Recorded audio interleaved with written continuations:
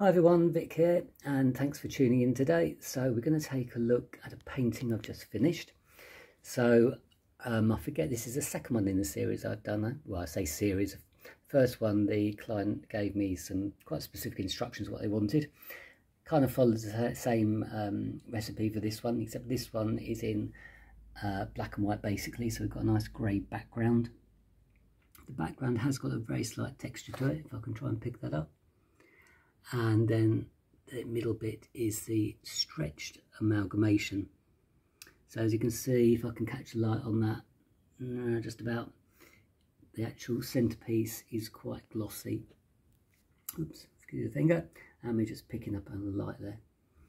The size of this panel is um, 12 inches square and it is a panel it's not a stretched canvas um, when I'm doing these kind of works. I tend to use a panel because it just offers a bit more stability when you're doing the amalgamation design in the middle. The amalgamation design is a stretched amalgamation. So what I mean by that is the actual design is pulled across from one edge to the other.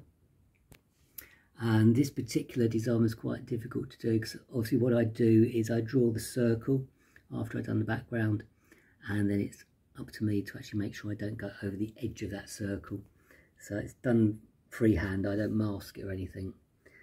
And it just gives it a nice clean finish.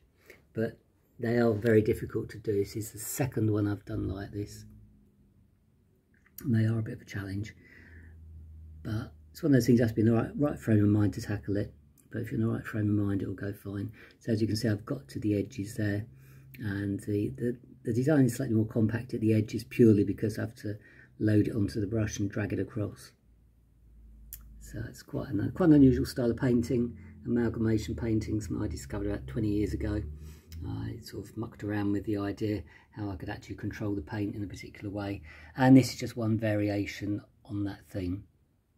So it's got a nice recessed back on this. That's nice and easy to hang. It will hang flat against the wall, which is always quite nice.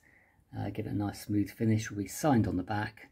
Comes with a certificate of authenticity, which is a word I always usually struggle with authenticity okay? And um, yeah so very happy with this way it turned out. Client I think is quite happy. Sent them a video paintings uh, sorry pictures. If I do commission work you always get videos and photos as it progresses. Happy to discuss any ideas if anybody's got any ideas of something I'd like to incorporate with my style of work that's always nice to hear from you. So if you like what you've seen please give the video a thumbs up. Feel free to subscribe to the channel and I look forward to showing you more work soon. Please check out the other videos, there's lots and lots of work on here and you can check out the website. Website is viktilson.art, that's V-I-K-T-I-L-S-O-N dot art, where you can see my back catalogue and some paintings for sale and read a little bit of blurb about me. So thanks a lot for your time, hope you enjoyed what you've seen here and uh, please check out the other videos. Thanks a lot.